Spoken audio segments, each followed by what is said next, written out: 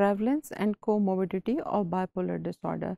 Now we will see कि इसका prevalence rate जो है वो जनरल population में और child children और adolescents में कितना है इसके साथ साथ हम ये भी देखेंगे कि कौन से ऐसे disorders हैं जो anxiety disorders हैं या substance use disorder हैं जो कि इसके साथ को अकर कर सकते हैं so here we will go with the prevalence तो वन टू थ्री परसेंट जो है वो यूथ के अंदर और स्पेशली एडोलसेंस के अंदर जो है वो देखने में इसका प्रेवलेंस रेट आया है।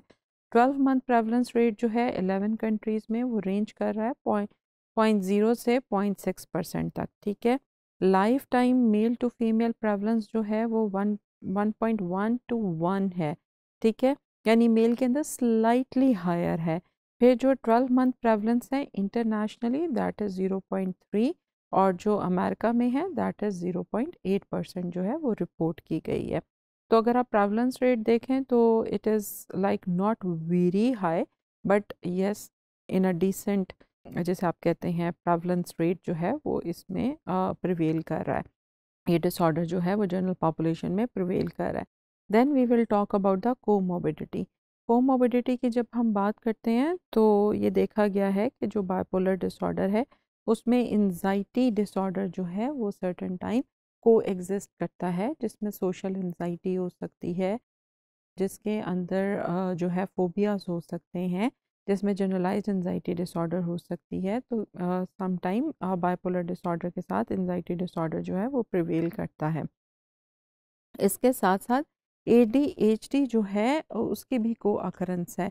तो इसलिए एडोलसन्स में या चिल्ड्रन में आपने इस बात का भी ध्यान रखना है कि जो सिम्टम्स उस बच्चे के अंदर आ रही हैं, ये कहीं हाइपर एक्टिविटी की या अटेंशन डेफिसिट की तो प्रॉब्लम्स नहीं हैं। तो अगर तो उसके मूड के अंदर डिस्टर्बेंस के बगैर भी उसको इस तरह के फीचर्स आते हैं तो आप उसे ए का जो फीचर है वो आप दे सकते हो, ठीक है? तो आपने इस चीज़ को ध्यान में रखना है कि उसे ए का प्रॉब्लम तो नहीं है। उसके साथ साथ जो डिस्ट्रप्टिव इम्पल्स कंट्रोल और कंडक्ट डिसऑर्डर्स हैं वो भी इस इन बच्चों के अंदर देखने में आते हैं। तो आपने ये भी ध्यान रखना है कि जिस तरह हम कहते हैं कि बहुत से ऐसे कंडक्ट इश्यूज़ हैं जिसमें एग्रेशन है इम्पल्सिविटी है और आ, कोई भी ऐसी चीज़ जो कि आपको लगे कि ये बिहेवियरल प्रॉब्लम्स हैं और उसको वहाँ पे भी एड्रेस करना चाहिए या वो कोमोबिट हो रही हैं इसके साथ साथ मूड डिसऑर्डर के साथ साथ तो आपने जो है इस चीज़ का भी ध्यान रखना है कि इस तरह के कोई डिसऑर्डर्स तो नहीं है। इसी तरह सब्सटेंस यूज़ डिसऑर्डर जो है समटाइम वो भी को अकर करता है। तो अगर किसी बच्चे के अंदर सब्सटेंस यूज़ डिसऑर्डर जो है, वो भी को अकर कर रहा है तो आपने उसका भी अलग से जो है, उसको डायग्नोसिस देना है।